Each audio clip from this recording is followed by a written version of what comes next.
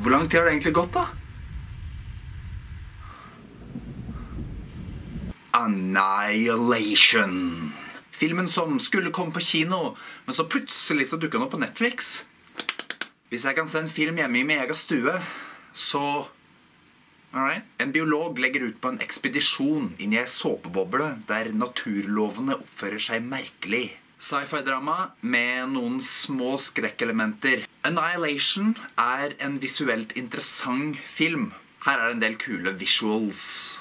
Visuals. Den har noen litt sånn musikk-equalizer-aktige effekter og en fargepalett som ikke er så vanlig i film. Tenk oljesøl i sola eller ja, såpeboble. Og den har de mest overeksponerte flammene jeg noensinne har sett i film. Og en del lys òg. CGI-en er veldig bra. Altså Omgivelsene er én ting, men det er noen, vi får se noen CGI-vesener her. De er nesten 100% top notch CGI. Bare et par ganger kan du se at det er CGI. Ellers så passer det veldig inn. Det er ikke den greia at du med en gang ser at det er en effekt. Det er bra. Vi har jo kommet dit nå omsider. Filmteknisk er det ingenting å klage på, i hvert fall i denne filmen her. Men skal nok finne noe å klage på likevel. Skuespillet er solid. Natalie Portman, Jennifer Jason Lee, Oscar Isaac. Ikke at han er med så veldig mye. De gjør alle bra jobber. Vil ikke dra fram noe sånn spesielt av noe, egentlig. Men jeg vil si det er første gangen jeg ikke har irritert meg i hjel av hun der Tessa Thompson. Så det var bra. Og Tuva Novotny, eller Smale Sussi, som jeg bare sier. Nei, jeg skal ikke binde en person til en rolle, bare. Tuva Novotny nailer engelsken. Damn, girl. Bra gjort. Dessverre så er karakterene ganske uinteressante, syns jeg. Men de er spilt bra. Men eh, de har liksom én greie hver. Jeg hadde ikke så veldig interesse av å høre noe særlig mer eller få vite noe mer om dem, egentlig. Jeg syns filmen er litt treig. Litt problemer med pacinga. Det tar litt tid før det kommer i gang. Og når du kommer i gang, så er du hele tida avbrutt av noen ganske kjedelige flashbacks. Jeg skal ikke si at jeg kjeda meg, altså jeg gjorde ikke det, men jeg tror nok at mange kan komme til å kjede seg med denne filmen her. Som jeg tror er noe av grunnen til at den ikke ble satt opp på kino overalt i verden. Så vit hva du går til. All dialog sies veldig sakte, for da veit du at det som sies, er dypt og meningsfullt.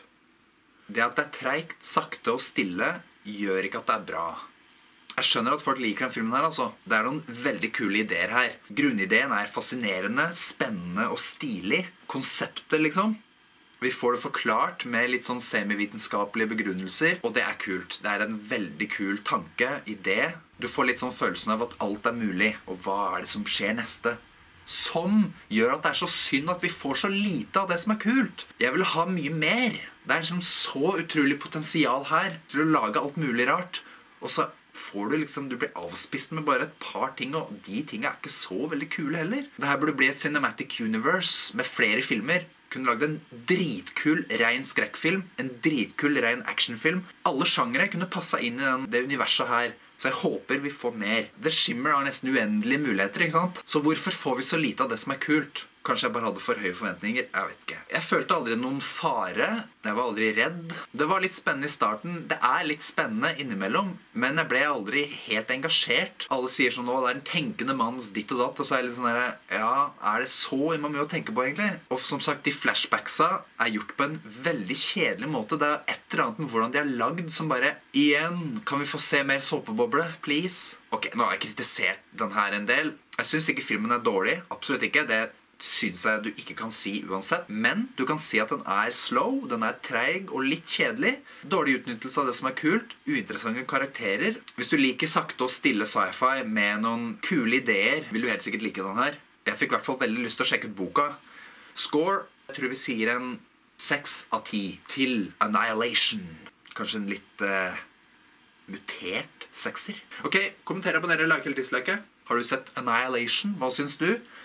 Er du enig med hypen? Ble du mindblown? Kan ikke du bare tear me a new one i kommentarfeltet hvis du er helt uenig? Ikke dislike bare fordi du er uenig.